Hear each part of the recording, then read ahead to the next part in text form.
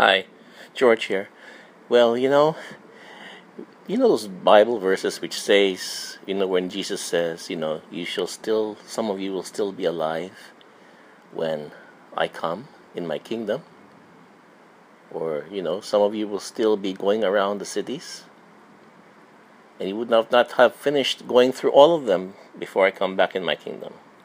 Well, you know, those are indications that Jesus the Christ came back uh, very, very soon in, within the generation of the, his disciples.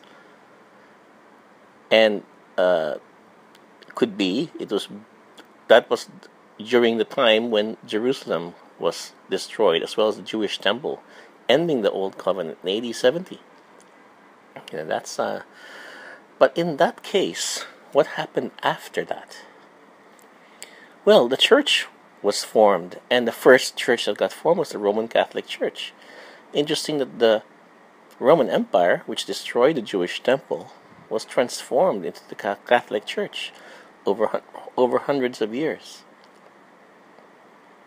And so the church lives, Jesus as its head and its body, a living organism, continuing in, continuing on through time. And the Catholic Church has stated in its creeds that Jesus is coming again at the end of time. But this will not be the second coming, this would be the third coming. Would it not? So, could it well be? How would the third coming manifest itself? The second coming manifested itself by the Roman Empire destroying the old covenant. So, what would usher in eternity?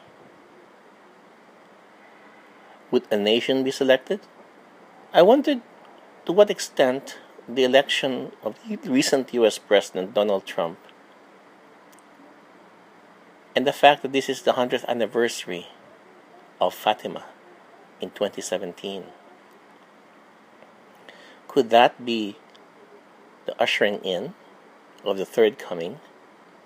Because the coming of Christ manifested last time, in the, at least in the second coming, in a major power, the ruling power of the world, executing judgment. The ruling power of the world today is the United States of America. Could it be about to execute judgment? Could this be it? Time will tell. But if it is not, Jesus the Christ will come again. No one knows when, but he will at the end of time. We should always be ready to welcome him and we will see him face to face, if not after death, then when he comes back the third time. It's George signing off. Prepare for departure.